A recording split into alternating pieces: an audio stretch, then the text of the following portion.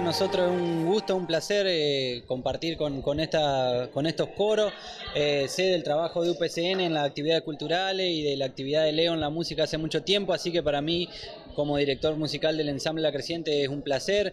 Nosotros por ahí estamos trabajando mucho sobre el repertorio de compositores entrerrianos, creo que un poco por ahí también viene la convocatoria, es uno de los rasgos más distintivos del ensamble, así que aportando ese, ese camino transitado que tenemos de, de ir descubriendo y recreando esa música.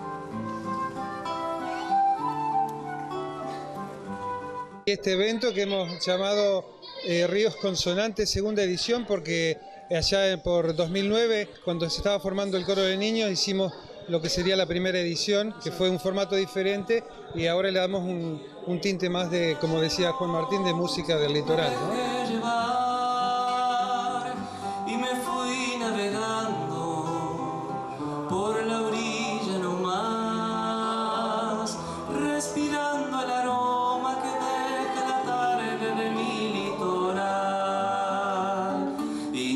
inundación el pueblo.